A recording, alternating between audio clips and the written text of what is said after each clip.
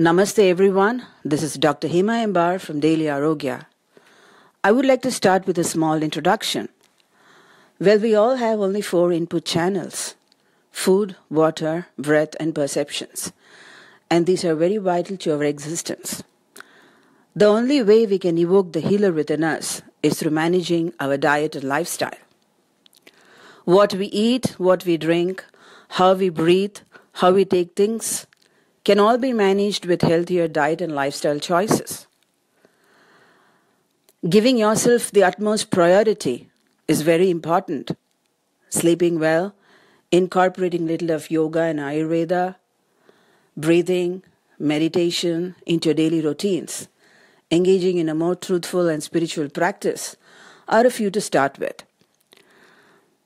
Let's dive deeper as we move forward in our self awareness with Ayurveda and yoga.